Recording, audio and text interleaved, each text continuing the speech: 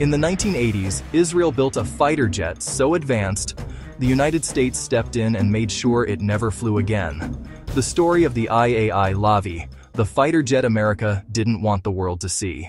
In 1980, Israeli engineers began designing a homegrown fighter jet, faster, lighter, and smarter than anything in the sky. It was called Lavi, meaning lion cub in Hebrew.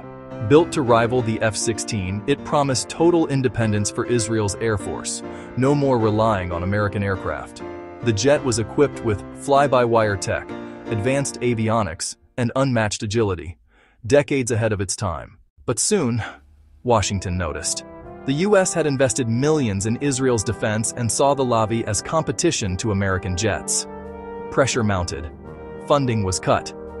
Behind closed doors, intense diplomatic talks began. Part politics, part persuasion. In 1987, the project was terminated. The Lavi's dream died before it truly flew. Yet, its technology quietly influenced future jets. Even China's J-10 shares its design DNA. Was the Lavi cancelled to protect US defense interests? Or because it was too expensive for Israel to continue alone? No one really knows. But one thing's certain. The Lavi proved that even small nations can dream big in the skies. Innovation can be silenced, but not forgotten. What do you think? Was the US protecting Israel's interests or its own?